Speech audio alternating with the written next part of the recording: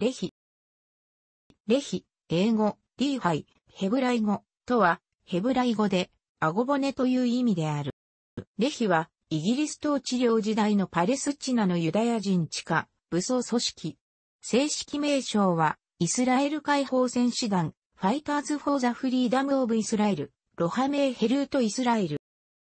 パレスチナからイギリスの支配と移民の制限を廃止、ユダヤ人国家を建設することを目標とした組織であり、イギリス当局からは創設者の名前を取って、シュテルンギャングと呼ばれる。初期はイスラエル国家軍事機関と呼ばれていたが、指導者、アブラハム・シュテルン、ヘブライの死後、レヒと改名している。レヒは、イギリス当局からテロリスト集団として認識されていた。レヒは1944年のカイロにおけるウォールター、モイン、中、カイロ栄光市の暗殺をはじめ、パレスチナのアラブ人やイギリス人を狙った攻撃を行っている。1948年7月に国連調停委員のフォルケ・ベルナドって、スウェーデン赤十字総裁が暗殺されたことで、国際連合安全保障理事会和殺を行ったレヒのメンバーをテロリストの犯罪グループと呼び、事件の3日後、イスラエル新政府は反テロ法を制定し、期間は禁止された。ベルナドッテに次いで、国連調停委員となったラルフ・バンチもレヒを非難した。レヒのメンバーは1949年2月14日にイスラエル政府により退社を受け、1980年にはレヒの元メンバーのみつけることを許されたレヒリボンの勲章が作られ、グループは栄誉を受けている。創設者、アブラハム・シュテルンは、ゼーブ・ジャボチンスキー、A、ヘブライにより創始された修正シオニズム運動を支持し、イル軍、ヘブライ、ハマイナスイル軍発売ハレ海米エレツイスラエル、設立者は、ジャボチンスキーに参加していた。1940年6月、第二次世界大戦の勃発により、イル軍がイギリスに対する地下軍事行動を止めたことで、彼はイル軍を去り、自ら発起者となってイスラエル国家軍事機関、アーグンツバイルミ BUI ライルと呼ばれるグループを設立した。これが後のレヒとなる。イギリスは戦争においてナチスドイツと敵対していたが、シュテルンはパレスチナに暮らすユダヤ人はイギリスに対して支援するよりも戦いを仕掛けるべきだと考えており、また軍事的手段に頼ることでより効率的に目標を成し遂げることができると信じていた。彼は1939年のマクドナルド白書 A、イギリス国内で決議されたユダヤ人のパレスチナへの移住や土地の購入を制限する内容の声明に対しても強く意義を唱えた。彼はパレスチナの最も重要な役割はヨーロッパから逃げ延びて難民となったユダヤ人たちの受け皿となることだと考えていた。しかし、彼の旧友ダビド・ラジエル、A、ヘブライは、ナチスドイツと戦うために、異州部、ユダヤ共同体、この時代のユダヤ人中央暫定政府のことも言うは、イギリス当局を支援すべきとしてシュテルンとたもとを分けことになる。シュテルンの考えは、国家の建設を妨げる外国人居留者のために死ぬ必要はないということだった。しかし、イギリス軍に入隊したラジエルは1941年、イラクでの任務中、命を落としてしまう。シュテルンはイギリスをユダヤ民族の敵、ナチスをユダヤ嫌悪者として別格のものと見るようになっていた。シュテルンは前者は敗北すべきであり、後者は利用すべきと考えた。そして、イスラエル新国家建国の際に援助を得ることも視野に入れ、第二次世界大戦での協力を条件に、ユダヤ人難民を解放する交渉をナチス当局に持ちかけた。レヒは三つの主な目標を定めた。グループはその黎明期には、その目標がイギリス当局をエレツイスラエル、旧約聖書に基づくユダヤの民が神に約束されたとする地、パレスチナのユダヤ人側の呼び名の地から追放するために最適な協力を得てその見返りに軍事力を提供することにより達成されると考えており、そのために軍事行動を通し、足かせから抜け出す意思を示威するための公然かつ、組織化された軍隊を作ることが求められた。レヒの地下新聞、ヘハジット、HE キャジアット、戦線の中のテロ、テロルという題名の記事で以下のように述べられている。記事には、テロの目標が書かれていた。シュテルンの暗殺後、レヒのリーダーの一人になった後のイスラエル首相イツハク、シャミル、ヘブライは、レヒの行動の正当性を主張した上でと語った。アブラハム・シュテルンは、復興の18原則と呼ばれる組織の思想を掲げた。レヒの戦闘員の多くは、専門の訓練を受けており、一部には、ベニート・ムッソリーニのファシズム政府が運営する、チビタベッキアの軍人養成学校に参加していたメンバーもいた。第二次世界大戦が始まる前の1938年から1939年にかけて、レヒのメンバーの一部は、ポーランド軍の指導のもと、ボウィーニ、ナミ、ボーウィンのゾフューフカ、ナミ、ゾーファイウカや、ウッチ、ナミ、D 近郊のポデンビン、ナミ、ポドビン、アンドリフフ、ナミ、アンドリチャウ周辺の森で軍事訓練を行い、爆薬の使い方を学んだ。彼らのうちの一人は後にこう語っている。ポーランド人はテロリズムを科学として扱っていました。我々はコンクリート、鉄、木、レンガ、あるいは土でできた建物を破壊するための数理を用いた法則を習得していました。その後、ポーランド政府は、レヒのメンバーに2万丁以上の銃を密かに持たせ、ポーランドの空路と回路を使って、パレスチナへ向かうことを許可した。グループの黎明期は、失敗が続いた。犯罪行為で資金を集める初期の試みは、1940年のテルアビブでの銀行強盗や、1942年1月9日の強盗では、ユダヤ人通行人2人を死亡させ、組織の一時的な壊滅をもたらした。さらに、ロードでイギリス秘密警察の上層を暗殺する作戦は、3人の警察官、うち2人がユダヤ人、1人がイギリス人が死亡することとなり、イギリス当局とユダヤ中央機関による地下組織を一掃するための協力体制を生み出す結果となった。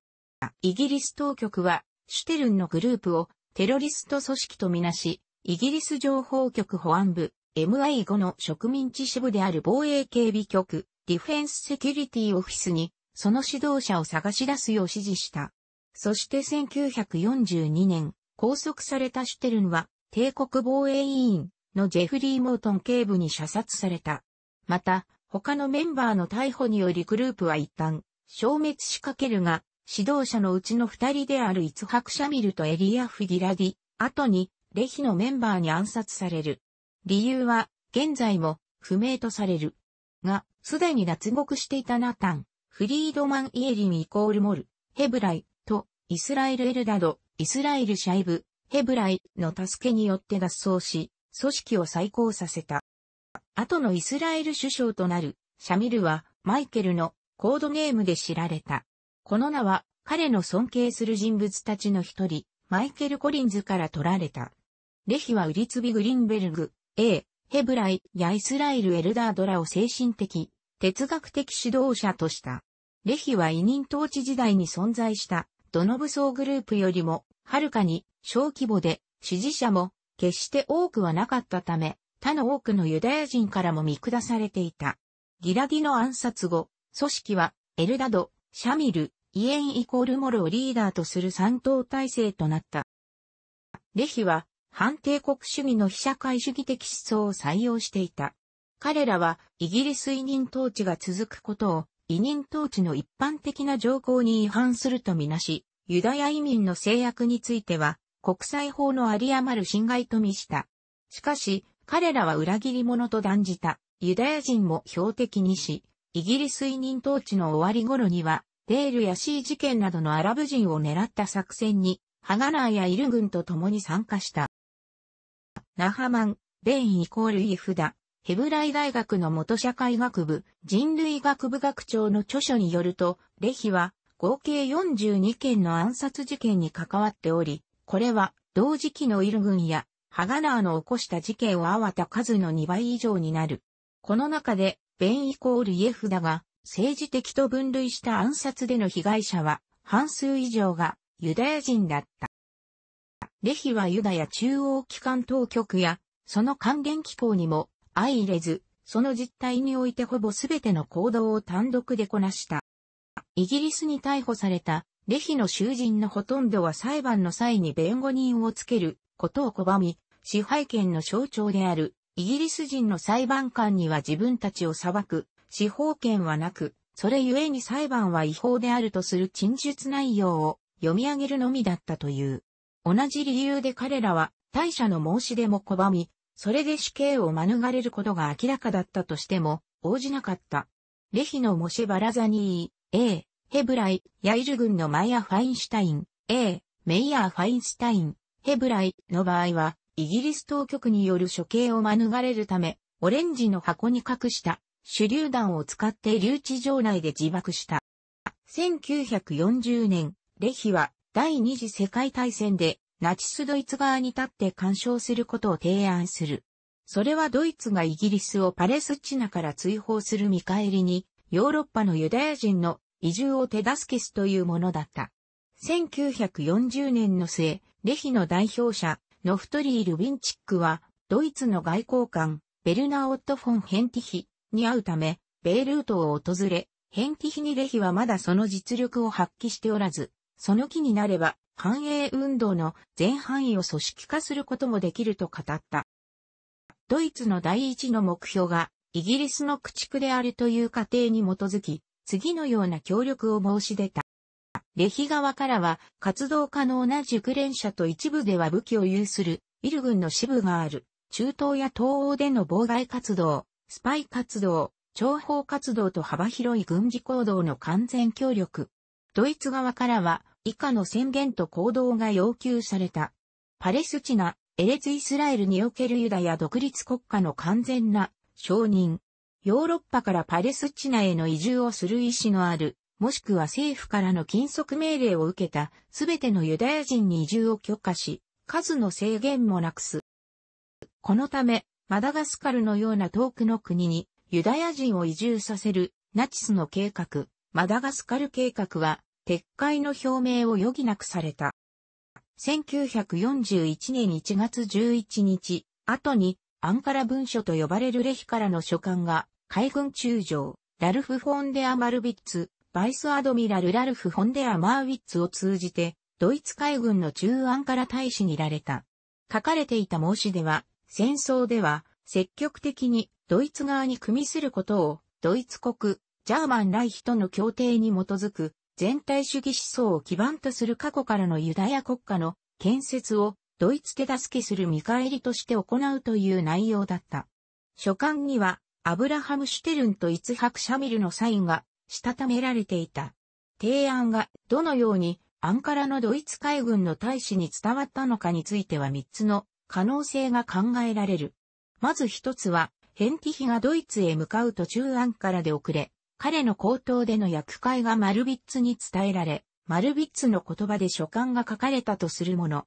2番目は、フランス情報部司令のコロンバニが、他のビシー政権の同僚との個人的な対立によって、つくねしたとするもので、マルビッツの書簡のコロンバには、彼のフランスへの召喚がコンティとピエトロン大臣の共謀の結果だと思っているという文から知られるようになった。そして、三つ目は、提案の振り子を望んだコロンバニが、1938年から1939年にかけて、レバノンでアミーン・アルイコール夫妻にエルサレムのムフティに協力を仰いだとするもの。彼は1939年、コロンバニをシリアからイラク国境に彼の車で送った人物でもあった。いずれにしても、マルビッツが機密文書として処理されたその提案をドイツの大使がいるトルコに届け、1941年1月21日に、それはベルリンへ送られ、返事は返ってこなかった。ヘンティヒは後にユダヤ人の国を作るのは大切なことだと信じていたと語ったという。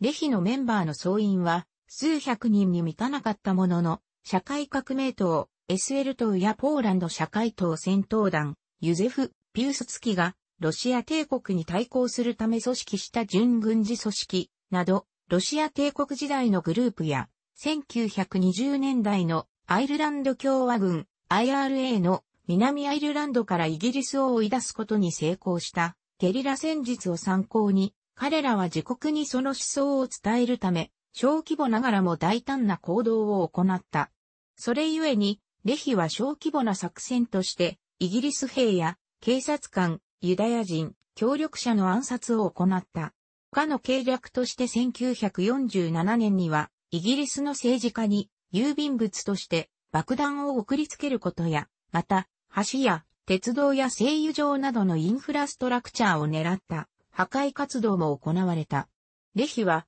活動資金を得るため個人の寄付を募ったり、ユスリや銀行強盗を行うこともあった。イスラエルの歴史家、ベニー・モリス、A、ヘブライ、ベングリオン大学教授、新歴史家と呼ばれる急進的な思想家とされるによれば、レヒはアラブ人の虐殺にも関与していたとしている。第一次中東戦争中の虐殺事件の一覧も参照。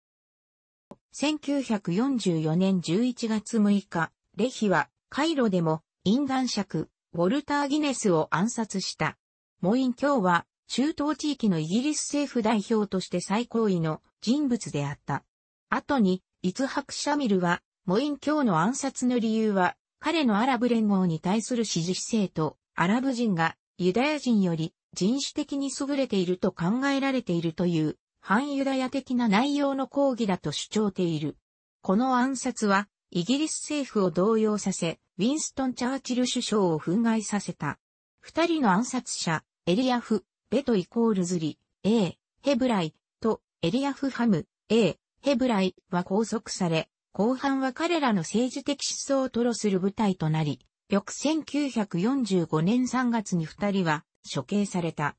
1975年に彼らの遺体はイスラエルに送られ、国葬が営まれた。1982年には、ベトイコールズリやハキムを含む20人のオレーハガルダム、A、ヘブライ、公主刑に処せられた者たちのために、イスラエル独立のために戦った殉教者と題した郵便切手付き記念シートが発行された。1947年1月12日、レヒのメンバーはトラック1台分の爆薬をハイファのイギリス警察署に投げ込み、4人の死者と140人の負傷者を出した。第一次中東戦争の準備期間中、カイロ、ハイファ間を結ぶ列車が数回地雷による爆破を受けた。1948年2月29日、レヒはレホボトの北部を走る列車に地雷を仕掛け、28人の兵士を殺害、35人を負傷させた。同年3月31日には、ビンヤミナ近くの鉄道に地雷が仕掛けられ、40人の市民が死亡、60人が怪我をした。2番目の攻撃はレヒも関与していたが、レヒはこの事件を決して自分たちの手柄にはしなかった。デールやシーンはエルサレムの西5キロに位置する村である。1948年4月9日、ハガナーの了承を得た。ただし、ナハション作戦とは独立したものであった。レヒとイル軍のメンバー約120人がこの村を襲撃した。彼らは100から120人の村の住民を殺害したとみられ、多くが一般人だった。当時の犠牲者数の報道は最も多いもので254人とされたこともあり、この虐殺は国際社会の批判を招いた。ベンイコールグリオンはこの出来事を痛烈に批判した。また、ハガナーや著名なラビ、ヨルダン国王アブドゥッター一世に、行為の非難と謝罪と哀悼の意を綴った手紙を送ったイスラエルのユダヤ機関など、ユダヤ当局の要人たちが同様に批判を行った。ベニー・モリスによれば、残虐行為と続いたメディアキャンペーンの最も重要な直接的影響は、パレスチナの町や村が恐怖を感じていることや、後の、そこからの混乱に陥りながらの逃亡を報道し始めるようになったことだった。という、デールやシー事件により多くのパレスチナ人が虐殺を避けるために家を捨てて避難し、結果的にパレスチナ人住民のイスラエルからの追放に大きな効果を発揮した。もう一つの重要な影響は、アラブ諸国による干渉とパレスチナに暮らす、アラブ人を助ける働きかけを、アラブ諸国周辺に暮らす、アラブ人に今一度呼び起こさせたことだった。これは第一次中東戦争におけるアラブ諸国の介入と侵攻につながる。レヒとユダヤ人主流派の対立と続くイスラエルの期間の終了に伴い、1948年5月31日にレヒは正式に解散させられ、イスラエル国防軍に統合された。その際、指導者は、疎追からの退社を許された。統合の見返りともされる。レヒは、全国的な活動を1948年5月に停止したが、それでもグループはエルサレムで機能し続けていた。1948年9月17日、レヒは論争の解決に仲介者として送られてきていた国連調停委員のフォルケ・ベルナドッテ博を暗殺した。暗殺事件は、イェホシュア・ゼトレルに指揮され、メッシュラム・マコベルが率いた4人組のグループにより実行された。致命傷となったのは、イェホシュア・コヘンの銃撃だった。3日後、イスラエル政府は、レヒを禁止措置とした。レヒの指導者、ナタン・イエリンイコールモルト・マティティアフ・シュムレビッツは2ヶ月後に拘束され、イエリンイコールモルは禁錮8ヶ月の判決を受けたが、他の多くの容疑者を含むメンバーは直ちに解放れた。そして、グループは永久的な解散に追い込まれた。レヒナイサハの一部のメンバーは、獄中のイエリンイコールモルを当主とする、戦士の名簿、A、ヘブライ、レシマトハロハミムと呼ばれる政党を立ち上げる。党は1949年1月のクネセト総選挙第1クネセトで1議席を獲得した。1949年2月14日に認められたレヒのメンバーに対する退社により、イエリンイコールモルは釈放され、国会に席を置いた。しかし、1951年の総選挙、第2クネセトでは議席を獲得できず、党は解散した。イスラエルは1980年に軍の勲章としてレヒリボンの授与元レヒのメンバーでそれを身につけることを望んだ人物を対象に実施した。色はそれぞれ赤、黒、灰色、水色と白がある。一部の著作家は、レヒの本当の目標は、全体主義に基づく国を作ることだったと指摘している。他の主張は、組織の思想は、外国人への権を、個人を、国家の必要のもとに完全に従属させる国家的、エゴイズ、反自由主義、民主主義と著しく中道化した政府の全面否定に正確づけられた、純ファシストの急進右翼の世界観に置かれたとするもの。リーダーのアブラハム・シュテルンは、ナチスドイツとの暫定協定を結ぼうとしたことで支持を大きく失ったというものがある。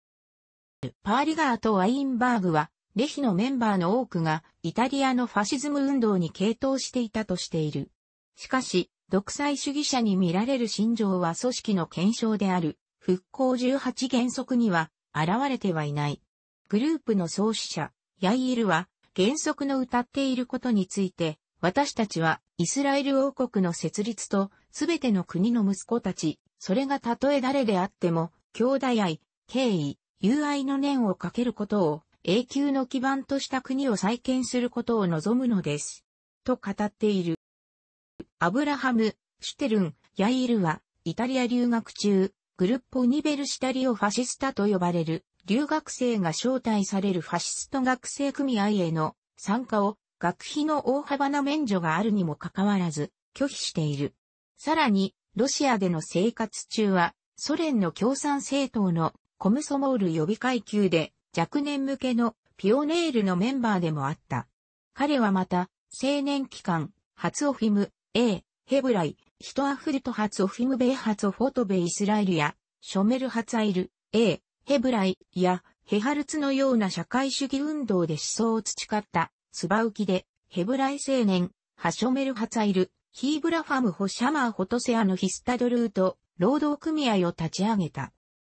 楽しくご覧になりましたら、購読と良いです。クリックしてください。